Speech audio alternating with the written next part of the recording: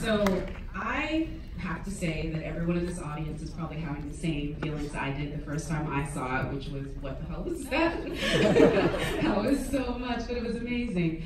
So, Robert, I'm going to talk with you because you wrote this with your brother, and I know that I'm, I'm just going to go ahead and say it. Like, with all the flatulent and masturbation and two men in a room, I feel like you were working something out, maybe with like maybe some childhood memories you wanted to like work out, or maybe not. I could be wrong.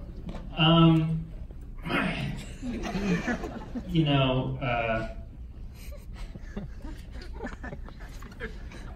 I'm right. I'm, uh, uh, I'm I'm seven years older than than than Max, and uh, so we had a more distant relationship until um, recently. So uh, there was more, there was there was less of that kind of specific stuff, and more of me just being uh, a, a mean, tormenting lighthouse keeper to his poor, suffering assistant. Um, Max is a very nice guy. He makes me seem like a complete jerk. Wouldn't you say? uh, but yeah, I mean, I think the flatulence does come from personal experience, but not with my brother. Um, working in the dregs of New York independent film world, uh, there was a lot of low budget projects where I was sharing close quarters with flatulent colleagues. Yeah, yeah. Anyone who's like volunteered at a film festival where you have to do an unhappy marriage of like cohabitation, I felt that um, watching this at the Cannes Film Festival. Um, the other thing I was going to ask because the film is so detailed, I, it it jumps off the screen how it it almost feels like a documentary not like a period piece because it's so tangible what that time period is. And I know that that's not by accident. It was intense research that you guys did to get there. So just like let everyone know kind of what your process was to research the film. Um, it's fairly easy to research a lighthouse movie. Uh, it's much more, I mean, people like lighthouses. A lot of people like lighthouses. Not that many people care about uh, and an agricultural lifestyle in colonial New England compared to lighthouses. Um, so there's tons of books available. Uh, you can also get the Lighthouse Keeper's Manual that Rob refers to and reads in the film on Google Books. Uh, so that was very helpful. Uh, another thing that was wonderful uh, is that photography had been invented in the 19th century. So uh, you can see uh, exactly what these lighthouse stations look like and what the lighthouse keepers were wearing.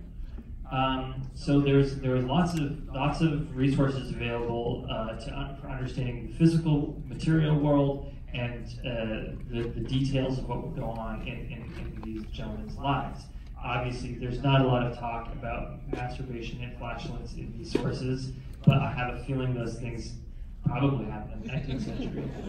Um, and then uh, when it comes to the language, that, that is harder, uh, but you look at the lighthouse keepers' journals and, and things and, and interviews with lumberjacks.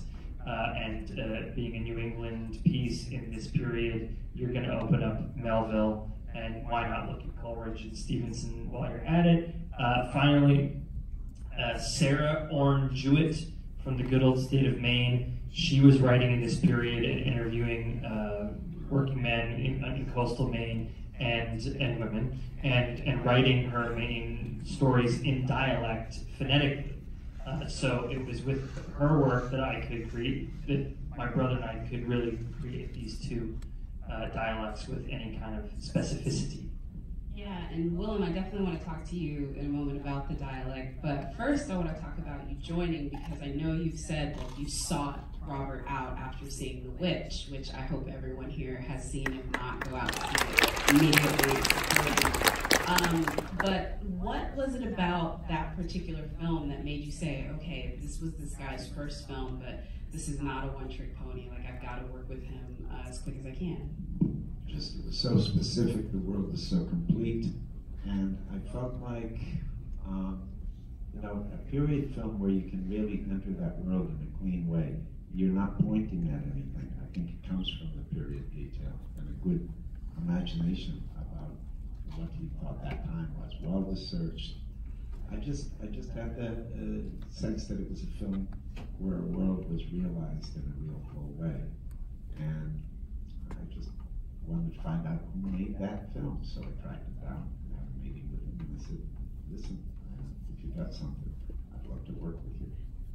Was that like a fun phone call when you're like, oh my god, Elias is calling me? yeah, I mean, no, De- Dafoe's a massive hero of mine, only more so after working with him. But but I was I was intimidated to, to, to meet him. But we, we I, this is a strange compliment to myself when I say it. I realize that, but but after talking with him for a little while, I felt like we were on the same page. We get along. Uh, but I but I also think. Uh, Dafoe's body of work growing up informed a lot of my thinking about uh, the craft of acting and storytelling. So maybe it, that, that's that's part of why we, we got along. And Rob, I think uh, you've been very um, vocal about the fact that after so much success early in your career, you've been particular about the work that you've taken. You worked with Claire Denis and and just been very specific about the filmmakers you wanted to work with. What was it about this script when you read it that really jumped out that made you say, okay, I definitely want to, to do this particular piece? Um, I think it's very discordant tones. Mean, it's kind of like, but I, I, think it's kind of you. I remember reading it the first time. As I just watched the movie. It, when you're reading it as a script, it just takes such a hard left turn about halfway through, and you're just thinking like, how is this going to gel together? And I think when you have these kind of just really, really angular properties of the story, it's kind of it's more interesting to try and figure out some way to mush them together, and it always kind of comes up with a strange compound uh, afterwards. Um, I, I would just well, I, you know, I remember meeting with you like a couple other times before about other things potentially, and it was always very like cordial and, and, and nice, and uh, and I felt that we had a, a, connection that was strong and also like on, on the same page. But after the script, the, you got the script, you were very like animated, and you had you were, you were like trying to like charge your laptop because you had notes and questions, and you were you know maybe anxiously and, and was really as well. Yeah, yeah, you were super hungry. Yeah, yeah. but but but difficult enough to talk about the script at the best of times. I was like. But but you you you, you showed me uh, a YouTube video of a, a sort of broy guy who looked like he might be in finance uh, in in like a blue Oxford shirt, who was wasted and he was screaming like and dancing like I'm a demon, I'm a demon, I'm a demon, and what was he saying? He's like, I'm gonna teach you how to fuck. wow, this Q and A took a turn. well, and it was amazing. Well, and you said, "Is this the movie?" And I said, "That's the movie." I could. I have so many follow-ups. but, but wow, I'm do you go from that? Uh, so wait a minute, real quick, because now these folks are going to want to find this video. So it's just some weird dude saying, "I want to f," you know. I think he's on a lot of ecstasy.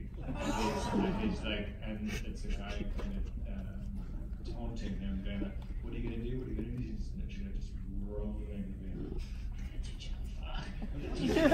but, but, but, but just, I think uh, the the amount of dedication that he put into saying that led me to believe he was saying I'm a demon, and I felt I've never seen a demon before until now. I mean, I thought this movie was, like, excuse me, bad shit, but the the like making of behind the scenes. Can we A24? Can we get a featurette because we need to find more about this stuff.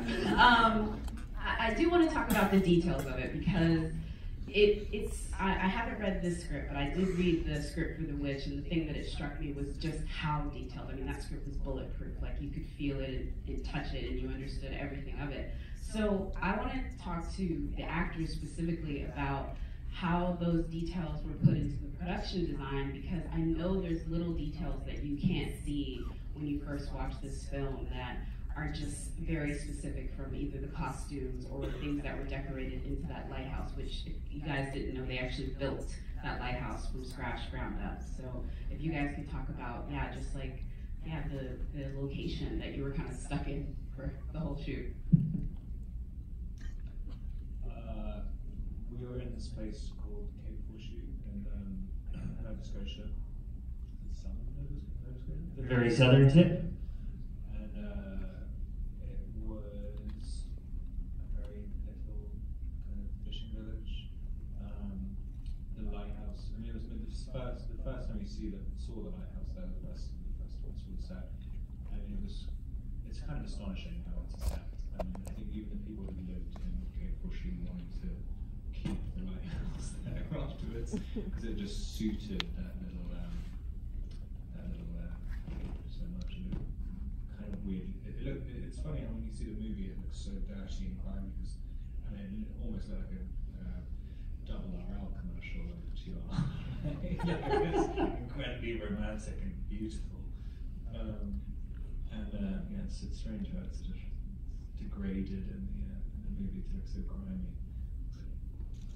Well, was there anything on the inside that, or maybe on your costume that folks would have been surprised at, that was either vintage or authentic? Just, just the details as you, even doing costume fittings, the, you know, the layers and the practicality of all it, uh, all of it, uh, you know, puts you in a certain head. Um, it was really cold, really horrible. So those costumes are important. Um, all the props, Rob Eggers is a uh, freak about these details. I mean, if you didn't recognize them as an authentic thing, he certainly told you about it.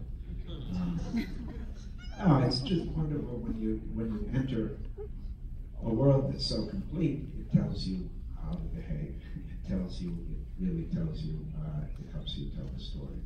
So since we built it all, we controlled it all, and uh, that was our world. So it's a big help uh, with pretending, with the being there. I mean, given that, I would imagine when a production designer gets the script that you gave them, they're probably excited, but then also intimidated. So how did you work through that? For those who don't know, in the pre-production, that's like a huge part. Is the director and the production designer really like ironing that out? So how did you get your details that you had onto the screen? I mean, Craig Incredible, and uh, we worked together on The Witch. And when I interviewed people for The Witch, he was the only production designer who came with the same kind of research material that I had. So, and so he, and he, it was very much the same with, with the Lighthouse. Um, and and and you know, always by the end, he's he's instructing me, uh, and uh, so really the trouble was just that this all came together so quickly that, that we didn't have a lot of time to build all this stuff. We were building this entire lighthouse station on a rock it, it, with, uh, with incredibly inhospitable weather. There was three nor'easters that blew over when we, were, when we were building this thing. Um, and uh, the, in, in the winter, so cold that the salt water was freezing on, on the scaffolding. Um, we had to halt the build a couple times, and you know we had everyone in Nova Scotia who could hold a hammer just to get it done in time, and bring in people from Prince Edward Island. But um, you know,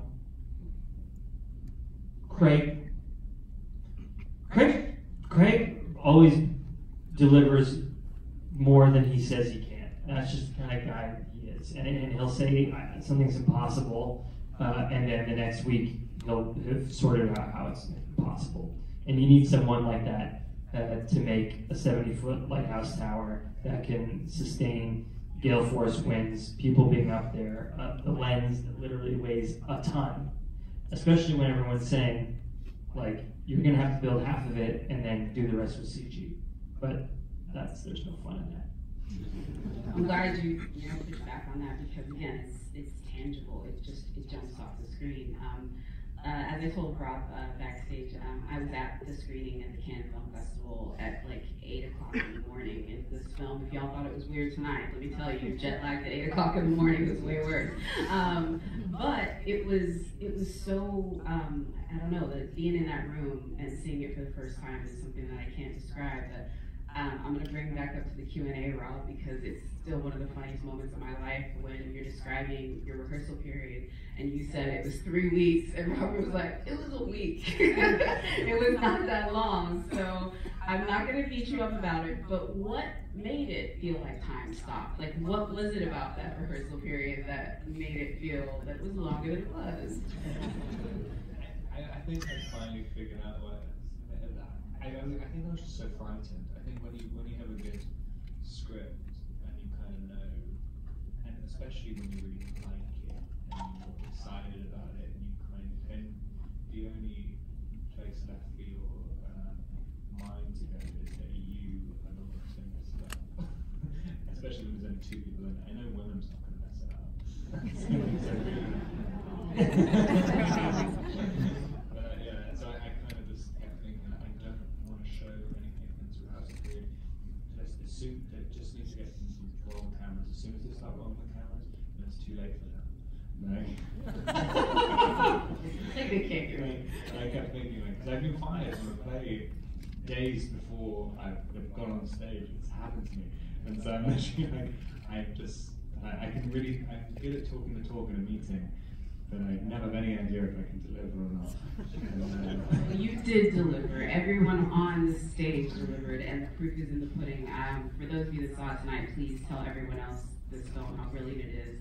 Won the director's fortnight at Cannes, still 93% certified fresh at Tomatoes, and yeah, I just want to thank the cast and the filmmakers of The Lighthouse, and gentlemen, for this conversation, and uh, thank you all for listening.